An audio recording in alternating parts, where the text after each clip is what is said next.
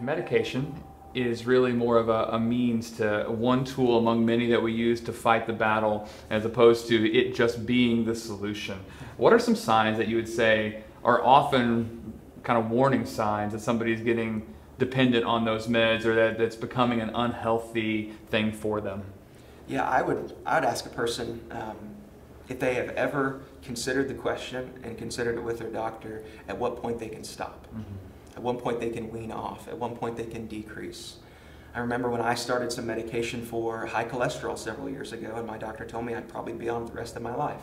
I asked him, but do I have to be? He said, well, no, you'd have to make some drastic changes. What changes? Right. We'd have to change your diet and your exercise. How? Right.